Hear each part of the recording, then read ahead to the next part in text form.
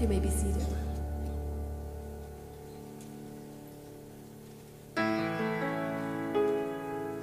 I will say to the Lord, my refuge and my fortress, my God in whom I trust.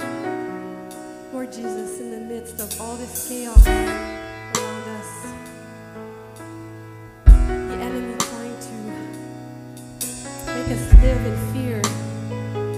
Jesus, you've already vanquished him. And you live forever. You give us strength to go through this day. Help us to focus our, our eyes on you and to see your glory.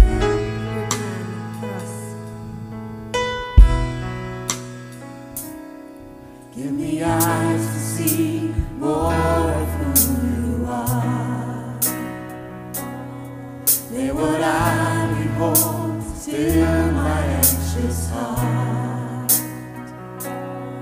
segurar.